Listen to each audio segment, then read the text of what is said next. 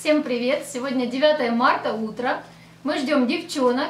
Настя мне вчера весь день делала какой-то сюрприз у себя дома, и мы должны будем поехать к ним, и мне будет какой-то подарок от нее. Катя ей тоже, правда, помогала. А потом Катя пошла и бегала по всему городу, искала мне подарок, бедная, по такой плохой погоде. Полдня, наверное, бегала. Я ее потом спросила, Кать, что ж ты хотела подарить? Она говорит, я хотела тебе свет подарить для камеры чтобы ты, когда снимала, чтобы у тебя был свет. Я говорю, Катюша, ну ты что, это ж надо где-то заказывать через интернет, искать, в специализированных магазинах, где же ты его хотела найти? Или говорит, стабилизатор, она еще думала, такая штучка, ты ставишь на нее камеру и можешь носить, и камера не дрожит. Еще такие есть, что надеваются на плечо, но это же тоже нереально просто так вот найти по городу. Пока мы ждем девчонок, я распакую посылочку. Хоть она и маленькая, но в ней очень много интересного есть, вы сейчас сами увидите. Это я заказывала в интернет-магазине, тоже уже давненько, но она к нам вот как раз пришла. Ох, и запаковывают, я уже ее 10 минут распаковываю. Некоторые вещи в этой посылке вам могут показаться очень странными, именно что мы это с Костей заказали. Я сама себя немного в шоке, ну давайте все по порядку. Вот это, это мой подарок Насте и Кате на 8 марта, просто поздно пришел. Ну, поскольку они меня сегодня будут поздравлять, я тоже им сегодня подарю. Причем это такая доска, которая цепляется, например, на холодильник. На ней можно рисовать, стирать. Причем я думаю сделать тоже сюрприз. Когда я у них дома буду получать свои сюрпризы, я ее просто прицеплю на холодильник и напишу на ней с 8 марта, да? Глянем. По названию это графический планшет. Ну, конечно же, это не графический планшет, это так, рисовалка. Так, вот этот карандашик как-то, наверное, вынимается. Маха пришла. Так, ну что, я попробую что-то нарисовать. Какой-нибудь цветочек. Маха, не мешай. Нет, тут Маха под руку подбивает, трется об меня. Заяц, ты соскучилась? Киса соскучилась, понимаете? Кошки не любят ждать. Надо все бросить и обязательно ее погладить. Да, вот. Вот, все, закрыла собой планшет. Нечего, обращайте на меня внимание, да, Маха? Так, мы продолжим. Это так, проба пера. Невысокое искусство, так что строго не судите. В общем, я нарисовала цветочек. И теперь, по идее, если нажать на эту кнопку, он должен исчезнуть. Работает. Хочу вам сказать, эта штука стоит недорого, вообще недорого, чтобы не думали, что это что-то очень крутое. Ну, как видите, можно делать какие-то заметки. Например, Настя, купи хлеба, да, Катя напишет. И на холодильник можно цеплять по идее, можно, здесь должны быть магниты. Алис. Отозвалась, отозвалась папки. Слушай, мне сейчас такая идея пришла в голову. Мы же можем этот планшетик использовать для сигн. Помнишь на канале Хомки? Мы все бумагу покупали, покупали, то маркера не было. Ну ты видела, оно как-то тускло видит, э, да показывает. видно. Хорошо видно. Мне не тускло. Потом нажимаешь кнопку стер и сразу следующего пишешь. По-моему, круто. Так, Лисюша, покажем, что нам еще пришло. Ты еще сама не видела. В общем, вот моя странность. Я не знаю, зачем я это заказала. Вернее, я знаю, мне хочется это слепить. Вот на полном серьезе, я когда на сайте это увидела, здесь можно лепить еду. Обычно такое покупают родители с детками, не с такими, а уже постарше, годика 4, да, и садятся и лепят вместе. Мне не с кем сесть, Настя, Катя уже выросли, Алиса еще не доросла. Но я так себе решила, что все вот эти вот штуки можно же оставить потом для Алисы, пластилин докупить. Мне хочется слепить еду. Мне, тетке в 35 лет, я не знаю, что это за прикол. Такого у меня еще никогда не было. Я понимаю, что я там в детстве не наигралась, у меня было мало игрушек и все такое, но у меня реально еще не было желания полепить из пластилина в таком возрасте. Это мне самой это кажется странным. Я не знаю, как вам, Ну, общем... А что ты, Настя, Катя, Алиса, а что ты меня в расчет не берешь? Может, я тоже хочу полепить? Нет, не хочется. Ну, это не сомневаюсь. И, в общем, мы еще купили вот такой 3D-пазл. Здесь можно сделать домик. Это мы купили сделать для нашего хомяка, крошки. Мы хотим сделать домик и пустить ее в нем гулять, а то и жить. Все части этого домика из дерева. Я не думаю, что мы его будем раскрашивать, потому что хомяку это может оказаться вредным. И как мы его собираем, вы можете глянуть на нашем втором канале, он называется Хомки. Именно на канале Хомки мы показываем наших домашних животных, и там, кстати, уже почти 550 тысяч подписчиков. Алиса попросила ее уже чем-то покормить, мы решили, это будет кабачок с картошкой. Ой, вот она так. сейчас без ложки съест. Все, все, идем за ложкой. Понимает уже, понимает, что это баночка с чем-то вкусненьким. Алиса будет кушать. Давай. Кабачок с картошкой. Что, невкусный? Ну, еще не распробовала. Она сначала кривится, а потом лопает за обе щеки. Ты его перемешиваешь, чтобы он не такой густой да. был, да? Видите, у нас на ковре, там справа черное пятно такое круглое. Это мы на Новый год его прожгли. Помните видео, где мы жгли огромные бенгальские огни, и у Насти загорелся носок? Так вот, у нас тогда и ковер загорелся. Причем не в одном месте, их таких несколько. Погуляли. Да. Испортили коврик свой. Мы собираемся его отдать в химчистку. Вот буквально, может, даже сегодня Косте повезет. Потому что раньше, когда здесь Настя с Катей жили, то по ковру же никто не ползал. И особо такое внимание ковру не уделялось, скажем так, могли в ботинках пройтись. А теперь мы решили, что он должен быть идеально чистый, потому что Алиса вот-вот начнет ползать. Надо его почистить хорошенько. Даже моющий пылесос, мне кажется, так не справится, как химчистка. Мы решили дать сейчас ей кабачок с картошкой, потому что после этой пюрешки она всегда в хорошем настроении. И нам сейчас надо, чтобы она как раз была в хорошем настроении. У нас слишком много планов на сегодня. И массажист, и поездка в эпицентр, и какой-то сюрприз для меня от Насти и Кати. В общем, влог тоже обещает быть интересным. Оставайтесь с нами дальше, смотрите. Начало по книгам.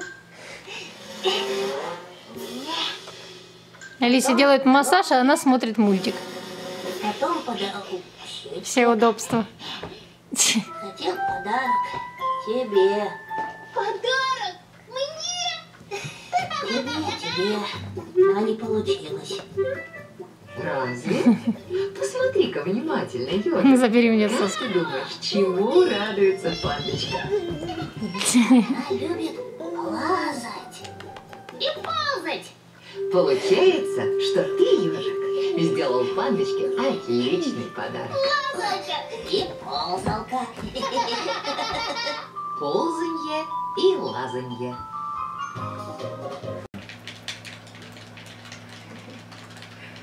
Мы с Катей играем в Mortal Kombat на приставке. Она все знает, а я ничего не знаю. Она пользуется этим, стреляет в меня. Слушай, а джойстик еще вибрирует. Ты знала? Да. А что он вибрирует? Иногда вибрирует, а иногда нет. Нравится, как ты знаешь. Катя, знаешь?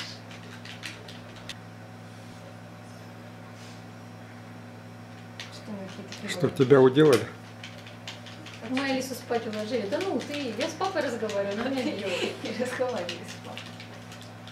Даша, ты вообще не пойму, как, как что делается. Мне не даешь даже выучить. Так я сама их ничего не знаю. А там режима тренировки нет, чтобы кнопки изучить? Костя не хочет даже вам показывать то, что на экране, потому что кровавая такая игра.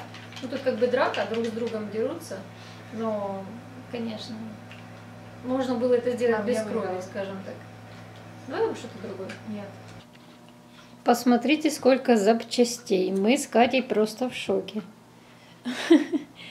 Это что-то. Ну, мы надеемся, что из этого получится хорошенький домик. Да?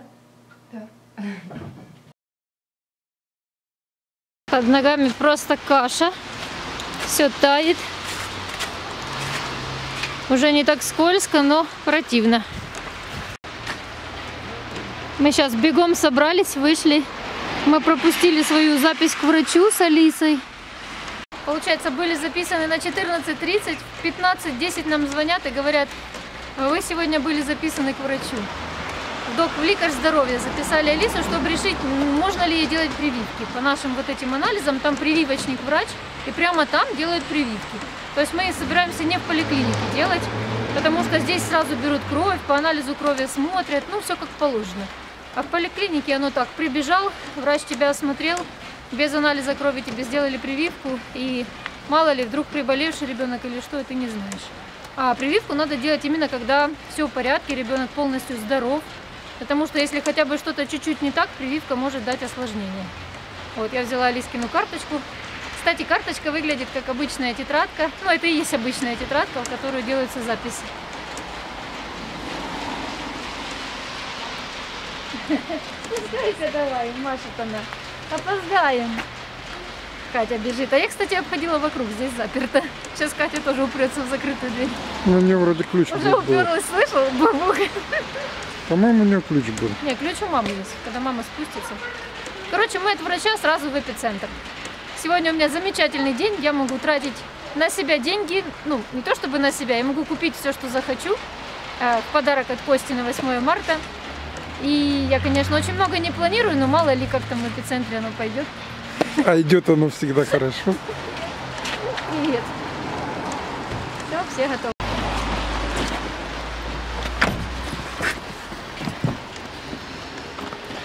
Так, уселись наши девочки. Кате уже автокресло не нужно, а Алисе без него никак. Все заперто. Все, мы едем. И Катя уже послезавтра в школу. Она тут вспомнила, что надо бы уроки сделать, да, Катя? Давай. Которые задали на каникулы целую кучу. Да я про это не забывала. Да? Она про это вспомнит в воскресенье вечером. Вот.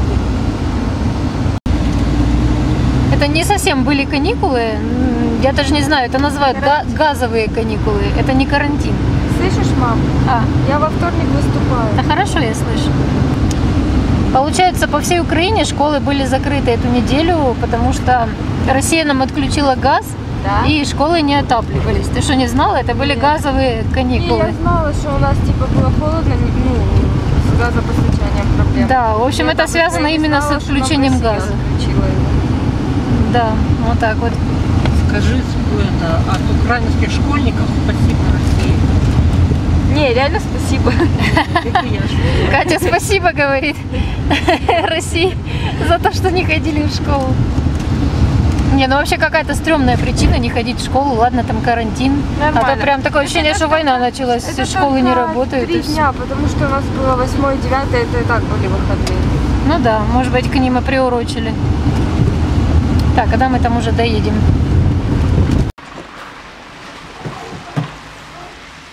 Бабушка нас подождет в машине, сказала.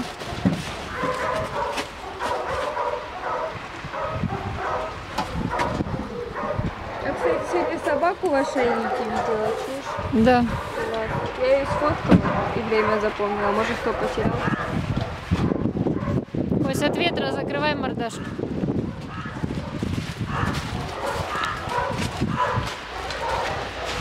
Кося, что ты забыл в аптеке? И Катя пошла за ним. Врач очень хорошая, просто замечательная. В первую очередь я хотела выяснить, надо ли делать прививки. Она сказала, так как я и думала, что сначала надо, чтобы все анализы пришли в норму, и только потом можно думать о прививках. То есть пока нет. Кроме того, она сказала, что надо срочно идти к гастроэнтерологу, чтобы дальше выяснять, что, почему печень увеличена, почему анализы немножко повышенные, печеночные. Потом она сказала, что все-таки ей хрустит коленка левая у Алисы, и она бы с этим поехала в Киев, в какой-то ПАХ, институт э, акушерской педиатрии какой-то там, она говорит. Там бы, говорит, и с печенью разобрались, и с ножками. Говорит, я бы с ножками на вашем месте еще обратилась к третьему специалисту, потому что сложная ситуация, очень неоднозначная, и как бы, чтобы не упустить время. Я бы, говорит, на вашем месте сейчас ничем другим не занималась, а бегом бы ехала в Киев. Но мы решили, мы все равно сделаем массажи. Сегодня был первый раз, мы сделаем 10 раз. Сходим здесь еще раз к тому врачу хорошему, у которого были. И если он засомневается, то тогда поедем в Киев. А, Но меня больше волнует все-таки печень, а не ножка, потому что, ну, все-таки печень увеличена, сыпет, как только что-то Алисе даем. Сегодня опять были прыщики, и смешно. И мы опять ей капали капли от аллергии. То есть ничего особо такого не давали, но были прыщики здесь, здесь, немножко на пузике. Не знаю, что, почему.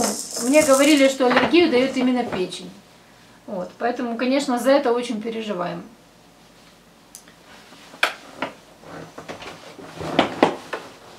Что еще доктор сказала? Я спрашивала, сколько все-таки капать витамина D. Потому что Би-мама мне все время говорит, что ты что, 6 капель это лошадиная доза. А Я спросила у этого врача, говорю, я понимаю, что это не этично назначение другого врача обсуждать, но говорю, все-таки в 6 капель вроде как многовато. Она говорит, вам совершенно столько не нужно, капайте две капельки. Потому что, говорит, э, рахита как такового у Алисы нет, не видно. Но говорит, если вы боитесь, что у нее там мало кальция, мало витамина D3, можно сдать анализ. Это тоже можно в Синеву сделать. Мы это собрались, кстати, сделать. В понедельник, наверное, пойдем и сдадим. Да. И заодно гемоглобин еще раз проверим. Он был низковатый у Алисы. Посмотрим, какой он сейчас. В общем, очень мы довольны этой клиникой новой. У врача-педиатра стаж 35 лет, так что ей доверяю. И то, что она говорила, я думаю, во всем она права. Кстати, она еще сказала, что много витамина D3 не надо потому, что родничок у Алисы маленький, очень маленький. Обычно, наверное, у кого он большой, и как бы сам как-то там не закрывается. И она сказала, что признаки рахита вообще, это там, например, мокрые, мокрые ладошки, когда ребенок очень капризный, очень потеет. Вот, в принципе, у Алисы такого-то и нет. И она говорит, у рахитных детей, вот говорит, у вас, она, Алиса говорит, по типу хомяка. Это когда голова нормальная, как у здорового ребенка, щеки большие, вот так как бы идет, ну как груша, да, голова. А у детей, которые рахитом больны, у них голова вот такая, как у инопланетян, знаете? Э, большой лоб, большая голова и маленькие худые щеки. У них большой живот выпирающий. Она говорит, у вас же этого ничего нет? Вот говорит, если бы у вас такое было, явные признаки рахита, тогда да, лечебная доза, это 6 капель, это лечебная была бы доза, 2, по 2 капли 3 раза в день. Но, говорит, вы ж не похожи. Но, говорит, если боитесь, сдайте анализ. Так что так мы и решили его сдавать. Ну, в общем, после клиники мы поехали в эпицентр. Об этом я уже покажу в следующем влоге. И влог будет очень интересный, потому что кроме поездки в эпицентр, там будет именно тот сюрприз от девочек, который они мне сделали. И скажу вам, он был шикарный, просто. Я не ожидала такого увидеть. Так что смотрите следующий влог и все узнаете. Я думаю, будете тоже в восторге. И заодно поймете, почему Настя была на 8 марта грустная, бледная, я уже поняла. Ну все, всем пока и до следующих влогов. До новых видео. Пока. Идем.